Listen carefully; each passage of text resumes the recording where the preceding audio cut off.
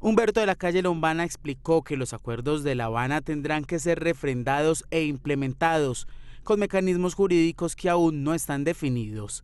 Reiteró que serán los colombianos quienes finalmente apoyarán o rechazarán los acuerdos alcanzados por el gobierno y las FARC en la mesa de negociación. Hay, hay en la constitución actual diversos procedimientos que podrían utilizarse para permitir la expresión ciudadana sobre lo acordado. No uno solo, hay varios. Por ejemplo, el plebiscito, la consulta popular, el referendo. Las FARC han agregado a ese elenco una asamblea constituyente. Según las declaraciones del jefe negociador del gobierno, la etapa de implementación sí o sí precisaría de reformas constitucionales y de aprobación en el Congreso de la República. Reformar la Constitución, algo que es posible, que habrá que hacer, no es violarla.